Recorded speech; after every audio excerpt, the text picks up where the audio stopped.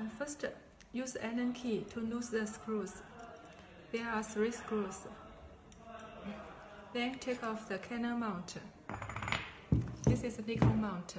Use Allen key to loosen three screws accordingly. Take off the inner ring and mount it to camera adapter. Fasten the three screws accordingly, just like 那个。